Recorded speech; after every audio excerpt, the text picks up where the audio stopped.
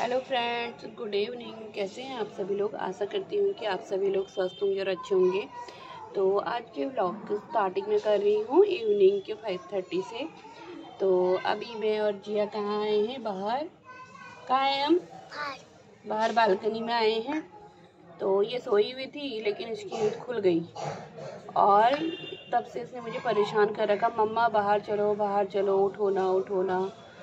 तो ये इसने हमको उठा के ये बाहर ले आई है और इसको लग रहा है कि अभी रात होके सुबह हो गई है है ना? मम्मा सुबह आप तो रात है। किसने कहा सुबह है?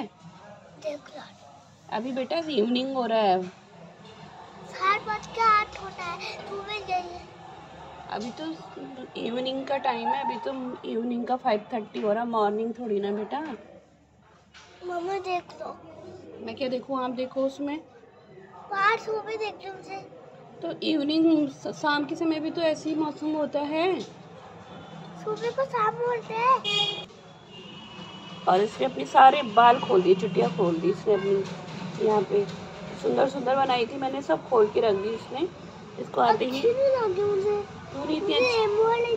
रेनबो वाली कैसे बनती है मुझे नहीं आती। अच्छा आपको आती है रेनबो वाली? हाँ मम्मा। ठीक है आप बना लेना। मम्मा इसको फिर वहाँ से डालो। तो फ्रेंड्स जिया ने मिल्क पी लिया है दक्ष ने भी पी लिया है दक्ष अंदर टीवी देख रहा है और जिया मेरे साथ बाहर बालकनी में बैठी है। तो अभी थोड़ी देर में क्या करते हैं? नीचे चले खेलने बच्चों को नीचे बेसमेंट पे ले आते हैं खिलाने। थोड़ी देर खेल लेंगे क्योंकि टू डेज़ की हॉलीडे है। है ना? हाँ। थोड़ी देर आप लोग खेल लेना फिर उसके बाद घर आएँगे। उसके बाद स्टडी करेंगे ओके मुझे कलर करना है। हाँ, बस आजकल आपको कलर करने का ही है ना? हाँ मुझे मन होता है कलर करने का। अच्छा ठीक है। तो फ्रेंड्स चलिए। और मैंने अपने लिए चाय बनाई है तो मैं चाय पी रही हूँ बाहर यहाँ पे बैठ के। और दक्ष टीवी देख रहा है जिया मेरे साथ बाहर बैठी है तो अभी थोड़ी देर में हम चलते हैं नीचे इनको। थोड़ी देर उनका प्ले टाइम करते हैं फिर उसके बाद इनका स्टडी टाइम करते हैं। फिर इनका डिनर टाइम करते फिर मिलते हैं आपसे। तो फ्रेंड्स मैं बच्चों को अब नीचे बेसमेंट में लेके आई हूँ खेलने के लिए। तो ये लोग खेल रहे हैं, यहाँ पे थोड़ी देर खेलेंगे, फिर चलते हैं हम घर, फिर स्टडी कराएँगे उनको।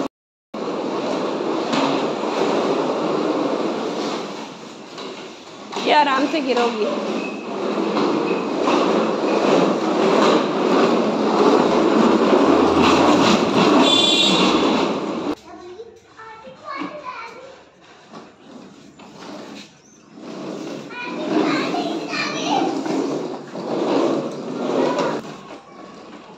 आराम से चलाना, चलो।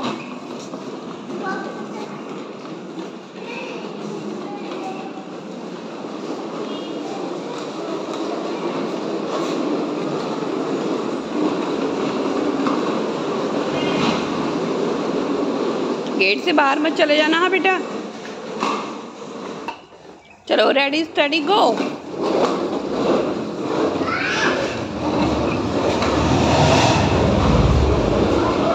दोनों की हर जगह फाइटिंग होती रहती खेलने में भी। जिया चीटिंग करके मैं पहले आ गया। अरे जी, आप फ़र्स्ट आई हो ना?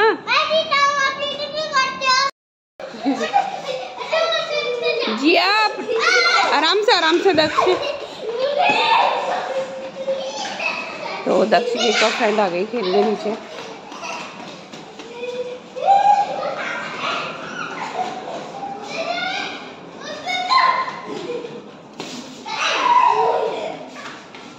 आराम से बेटा लगेगी दक्ष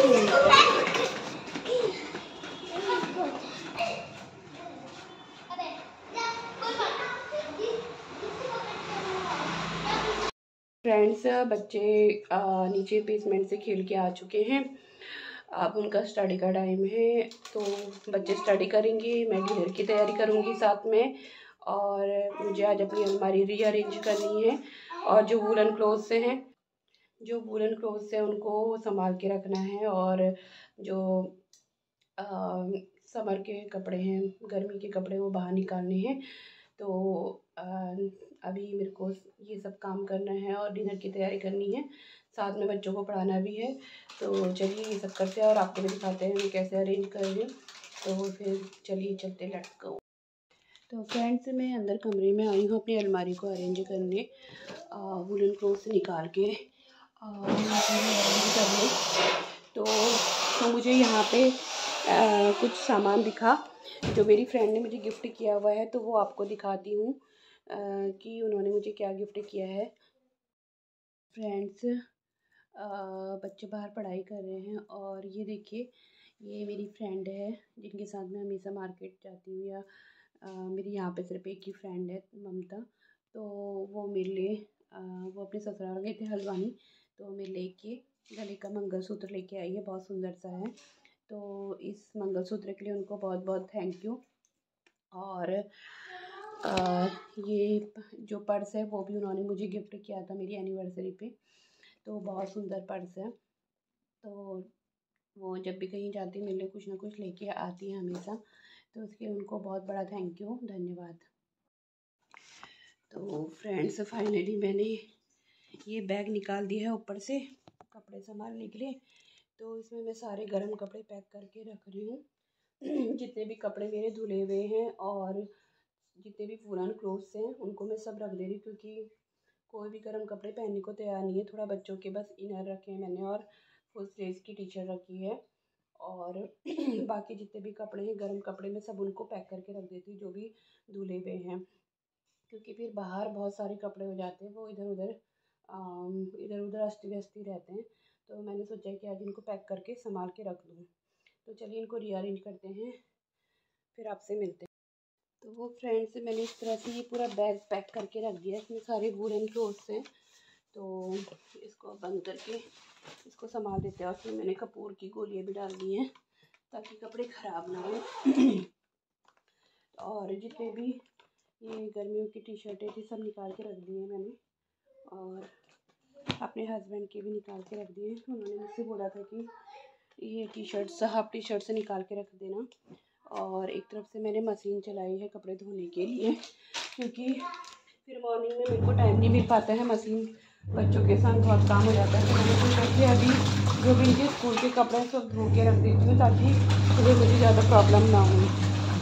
तो चलिए, बच्चे बाहर पढ़ रहे हैं। मुझे अभी ट्वेल्थ की तैयारी करनी है। फ्रेंड्स देखिए मेरी बेटी के पर्स का कलेक्शन। जहाँ भी जाती है वहाँ से एक एक पर्स और पिंक इसका फेवरेट कलर है। तो देखिए।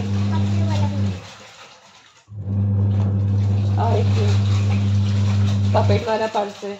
और पिंक इसका फेवरेट कलर है। जहाँ भी जाती है कि पर्स। है। पर्पल भी है। अच्छा। तो ये ये पर्स के कलेक्शन है। और इतने पर्स तो मेरे पास भी नहीं है जितने मेरी बेटी के पास हैं। तो अभी मैंने निकाल, ये इसलिए निकाले क्योंकि मैं अलमारी भी अरेंज कर रही थी। तो इतने सारे इसके पर्स निकले हैं। तो इसको पर्स जहाँ भी जाती है, वहाँ से पर्स उठा के ले आती है और पिंक इसका फेवरेट है। तो फ्रेंड्स की मेरी साड़ियों का कलेक्शन ये साड़ी मैंने करवा चौथ पे बनाई थी। अभी मैंने इसको रीअरेंज किया है। ये तो ये ऐसी पड़ी थी। और ये मैंने, ये भी मैंने उससे पहले वाले करवा चौथ पे बनाई थी, ये साड़ी भी। ये मैंने काशीपुर से ली थी उत्तराखंड से। और ये साड़ी मैंने अपनी सिस्टर इन लॉ नंदी की सबसे छोटी वाली नंद की शादी में बनाई थी। और ये वाली साड़ी आ, मेरी तीसरे नंबर की नंद जो हैदराबाद में रहती है वो लेके आई है। और बहुत ही सुंदर साड़ी है पहन के बहुत सुंदर लगता है इसका लुक बहुत अच्छा आता है। तो इस साड़ी के लिए उनको बहुत बहुत धन्यवाद दिल से। और फ्रेंड्स ये साड़ी मैंने अपने भाई साहब की शादी में बनाई थी। बहुत पुरानी है, चार, पाँच छः साल हो गए हैं। अभी फ़िलहाल मेरे पास यहाँ पे इतनी ही साड़ियाँ हैं, क्योंकि मैं ज़्यादा यूज़ क्योंकि मैं तो फ्रेंड्स यहाँ पे मेरे पास अभी इतनी ही साड़ियाँ हैं, क्योंकि मैं ज़्यादा साड़ियाँ पहनती नहीं हूँ यूज़ नहीं करती हूँ तो मैं यहाँ पे दो, चार ही साड़ियाँ लेके आई हूँ, बाकी मेरी उत्तराखंड में, क्योंकि यूज़ नहीं करती हूँ तो इसलिए बनाई भी नहीं है ज़्यादा, क्योंकि वेस्ट क्या करना है सूट ही ज़्यादा पहनती हूँ मैं तो इसलिए साड़ियाँ मेरे पास कम है कलेक्शन कम है तो वो तो मैं अभी सड़क वो मेरे बेड में ऐसी पड़ी थी, मैंने रखी थी तो अलमारी में रीअरेंज करी क्योंकि वहाँ पे वुलन कपड़े जाएँगे और बिस्तर जाएगा। तो अभी इसलिए मैंने आपको दिखाया। तो अब चलिए अब खाना डिनर की तैयारी करते हैं। रात का एट थर्टी हो गया और बच्चे भी पढ़ रहे हैं और मुझे डिनर भी बनाना है। बच्चों को खिलाना भी है। तो चलिए डिनर बना तो फ्रेंड्स मशीन में ना आधे कपड़े तो धुल गए हैं, थोड़े डाल दिए हैं। धोने के लिए साथ में बच्चों के स्कूल के भी धुल रहे हैं और जितने वुलन कपड़े हैं, जो संभालने हैं, मैंने वो भी वॉश करने रखे हैं। ताकि थोड़ा सा स्पेस बन जाए। इनको सबको संभाल दूँगी तो अलमारी में स्पेस बन जाएगा। और कल सुबह के लिए काम कम हो जाएगा। आप सबका तो डिनर भी रेडी हो चुका होगा। मेरा तो अभी सब्ज़ी बनी है। लेट हो गया आज बच्चों के साथ।